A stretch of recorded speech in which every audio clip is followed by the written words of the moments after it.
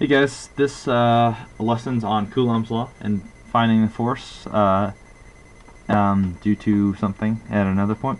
So, um, this will be a two-parter. First, we're going to find the electric field at this uh, point. Then we're going to put a proton where it is and find um, what force this is acting on it.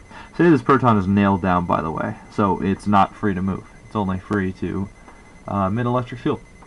So, essentially, let's go over these equations real quick. We uh, remember that E is just a constant times Q um, times the distance squared. And I'm not going to put a hat in this one just because uh, we're going to keep it scalar, just to keep it simple. And uh, our force is force equals Q times E.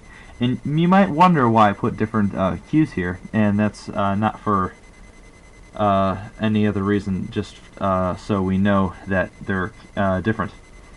Uh, this Q will be the Q that this electric force is pulling on or um, putting on it, but this Q will be the force or the the charge accepting the electric force and acting um, and showing how to act on it.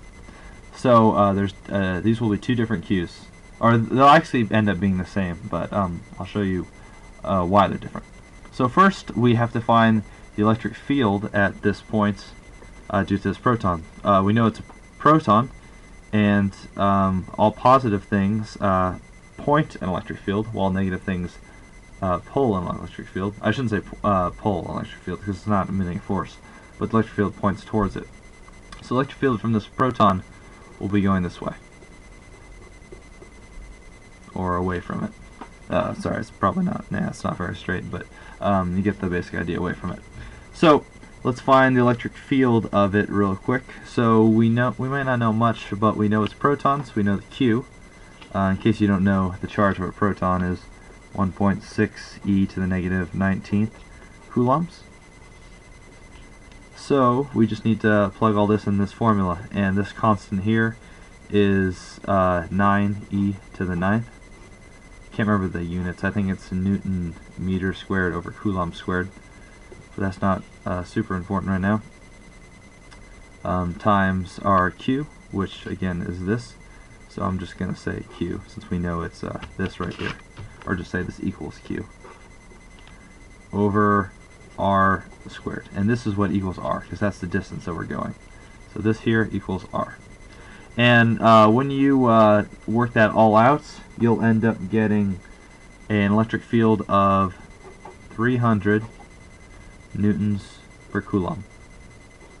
So if you do all that algebra, uh, take this times the charge of this over the distance from where we're trying to find the electric field squared, you'll get 300 newtons per coulomb.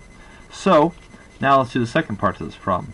Let's say we put a proton right there, exactly on that spot. Remember, this one is free to move. This one isn't free to move. It's nailed down. We want to find the force that the this electric field uh, acts on it. So the force, again, equals Q of what is feeling the electric field. In this case, again, it's going to be 1.6 e to the negative 19th coulombs times the E field where it's being experienced, which is 300 newtons per coulomb. And uh, when you uh, equal that out, it'll end up being um, 4.8 e to the negative 17th newtons. And if you notice, coulombs times uh, newtons per coulomb cancel out to be newtons. So that's how you find um, the force. So that's how you uh, that's how you find it. And uh, if you notice, it's positive, so it'll be going the same direction as the E. And that makes sense because uh, positive or like charges uh, repel. So that's why it's feeling force in that direction. And um, so let's say, just for fun, let's say this is no longer a proton. Let's say it's an electron everything would be the same.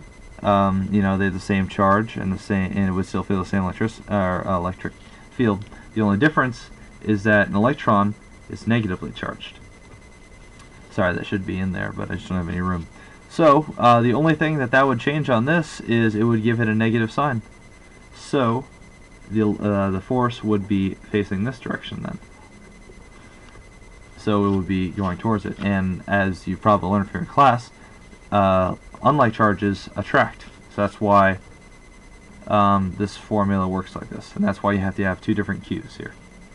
Um, and that's essentially how it works. Uh, if you have any more questions, uh, please send me a uh, message and I'd be happy to get back to you. I'll see you next lesson.